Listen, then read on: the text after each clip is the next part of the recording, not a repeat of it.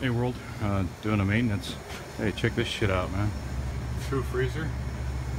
Uh, three door. Oh, look at this condenser. Holy shit me. Frick.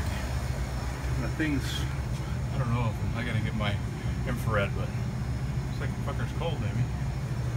Have to see. It's cold as, I'll have to get my gun, but, oh shit, man,